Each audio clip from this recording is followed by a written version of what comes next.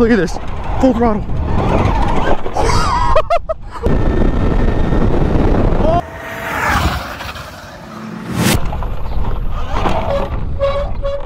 Here we have it, the brand new Altis. This is a production bike, so it's not the official one that's completely done yet, but they're nice enough to let me and Matt take two of these out. This is pushing 20 kilowatts with a 96 volt battery, so you know this thing is absolutely gonna rip. Already comes equipped with a 1916. We got a full-size moto seat, we got full-size pegs, and we got the plastics, which honestly is my favorite. This thing looks like a mini Stark Varg. We got two of them. We're gonna go rip the hills, rip the streets, and then of course, we gotta rip the track, so.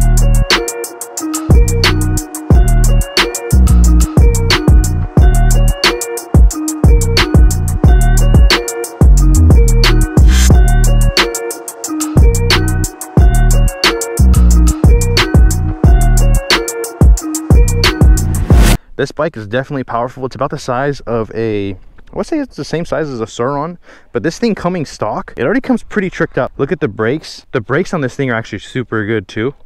Front and rear disc brakes. I want to say this is a 280 rotor. I believe it's a 280 rotor. And this is also just a prototype bike. So the ones that are going to come out in a couple months are probably going to be a tad bit different. But for the most part, this thing, it's absolutely insane. It looks really good. In my opinion, it looks kind of like a, a mini Stark Varg, I think, which is kind of cool. Sprocket is a little smaller than what we normally run. We normally run like a 54. I think Matt's is maybe a little bit bigger on that bike.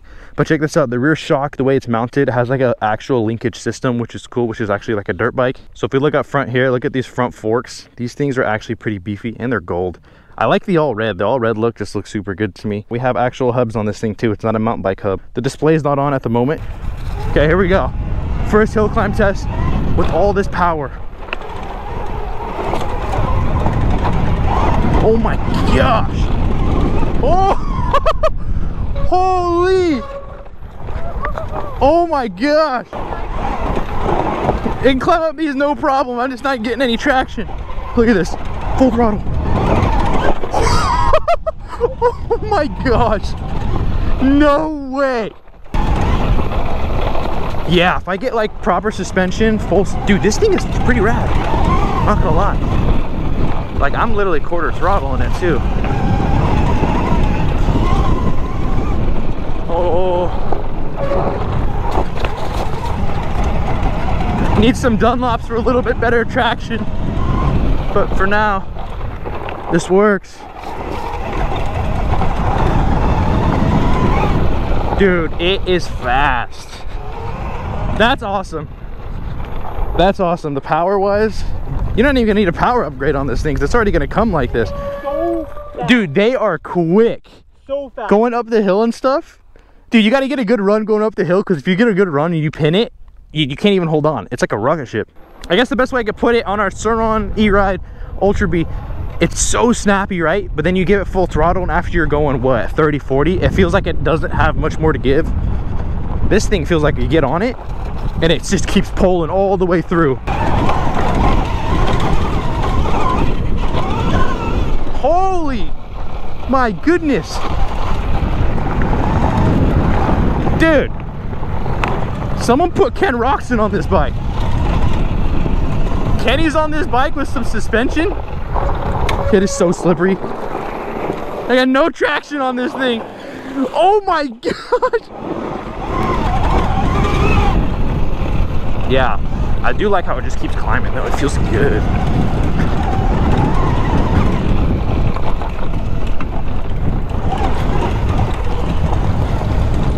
Holy, I gotta watch out for his roost, that's gonna hurt.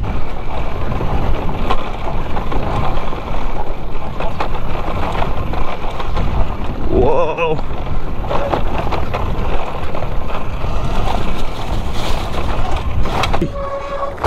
Oh!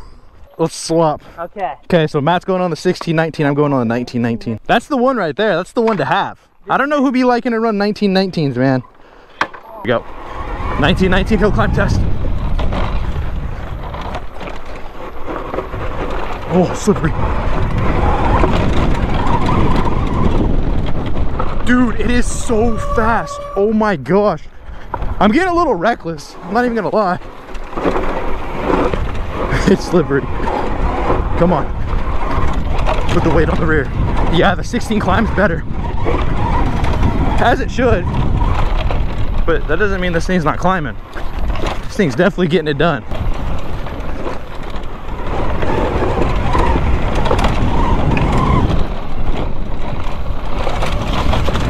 I gotta be careful on this thing. I could literally tell from going up that that 1916 climbed a million times better, even though there's like not much tread on this stuff. And it rides better too. Yeah, It absorbs everything so good. rides better, looks better, feels better. So you don't have to worry about your belt stripping with pushing all this power because it's direct motor drive. So that's definitely a, an, an upside. Definitely want to go ride it on some street because then I could kind of feel. He said that this one possibly go 80 miles an hour. 80 miles per hour.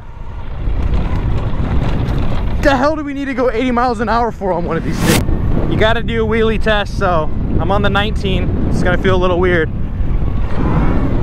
Oh, the sprocket's a little smaller too, but oh yeah. Whoa, I can hold it. Front wheel stopped spinning, that's why I dropped it. And also I suck at wheelies, but oh yeah, this thing will wheelie for days. Guys, all these bikes are a little bit different geometry, which is not an excuse, but as far as like holding the wheelie and stuff, it's definitely possible. That one's supposed to be faster, Zach. Yeah, because I have a smaller gearing than you. Yeah, that one's supposed to go 85. I don't think I'm gonna hit 85. I think I'm scared to hit 85. Let's go, ready? You can go first. Here we go. Full throttle. There we go. Yeah, it keeps building. Oh my gosh. Oh my gosh. I have to slow down. That's scary. I got no stabilizer, so it's kind of scary. Oh my gosh. Oh my gosh. No way! There's no way! There's literally no way! That is insane. Like I keep saying that. Take a shot every time I say that's insane or oh my gosh. You'll be hammered by the end of this video. Let's go, let's go. I don't even know if you guys can tell how fast I'm going, but I feel like I'm... Yo! That's like Yo, you got a Hellcat? Bring it out, dude. Let's go. You got a Lambo? You got an R8? I don't know what you got. Whatever you got, bring it out and race me on this thing because I guarantee you, this thing is going to beat it.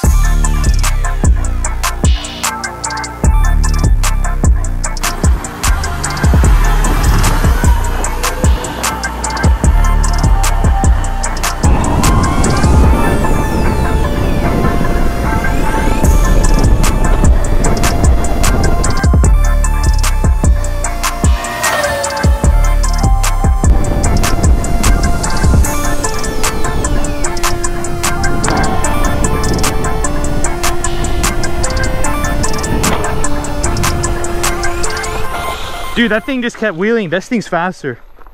That thing's faster? This thing is. Did you see how fast I was going? yeah, you're going. It felt way faster than this thing. Yeah, So, I need to ride this one and see.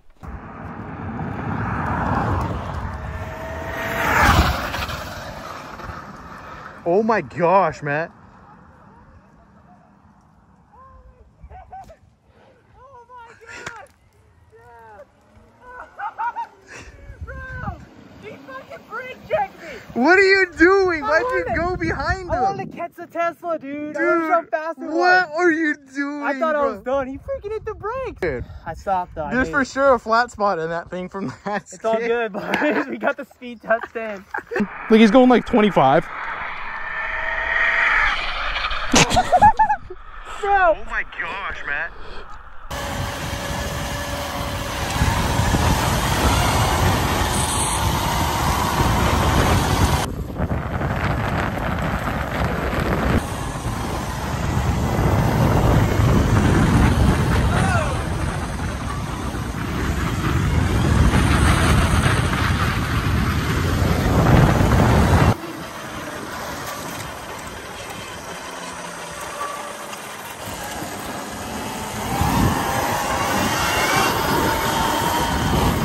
This bike definitely weighs a lot. I don't know what the weight is. Definitely weighs more than an E-Ride and a Sur-Ron, but at least it looks good. So that is, I guess, one downside is it weighs more, but as far as wheeling and riding, you can't really feel it. So it's the last part of the video right here. So we're gonna hit a little bit of the jumps. Um, don't think I'm gonna hit everything to, a, to the full extent, because for one, these aren't my bikes. I don't wanna break them.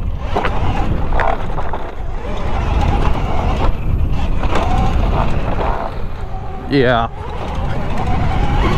What if I can get my EXT forks on the front of this? Because if I could do that, this thing would be all time.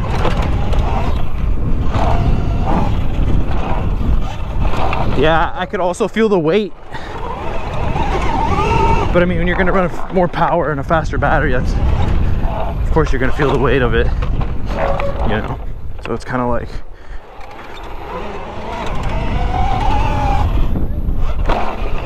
not too bad.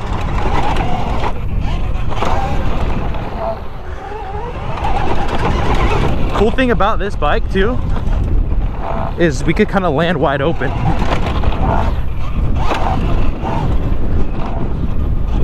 and not worry about the uh, the belt strip or yeah.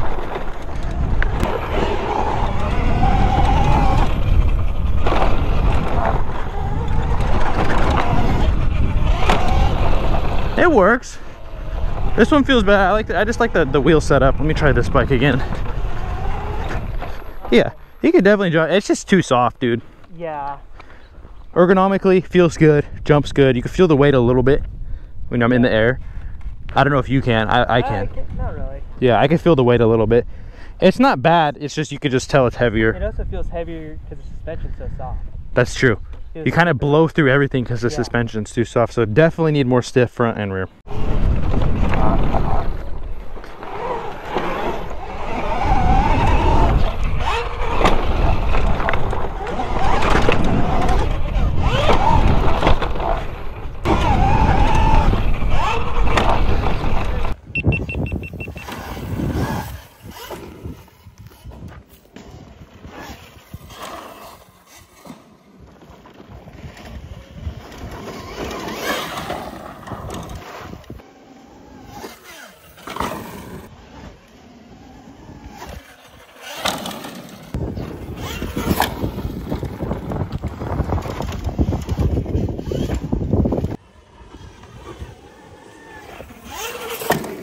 There you go. All right, guys. So all in all, my final impressions of the Altis is I think that this bike is going to be the bike. This bike had a 40 pound spring, but the new production bikes that are going to be coming out have a 50 pound spring.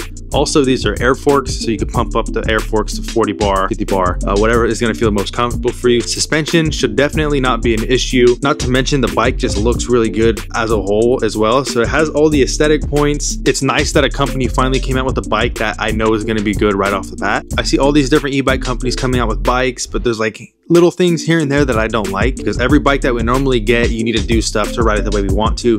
This bike is ready to go right off the bat. The fact that it comes with bigger front and rear rotors for better stopping power is a huge game changer as well. And yeah, I just think that the Altis is going to take over. Personally, I think that this is the bike to get. I don't see any other bike beating it. It's like if a company listened to all the viewers, all the comments, and just put together exactly what everyone wanted. So yeah, thank you guys so much for watching. I can't wait to get my hands on an Altis for full time. Uh, until then, I'll see you guys in my next video. Peace.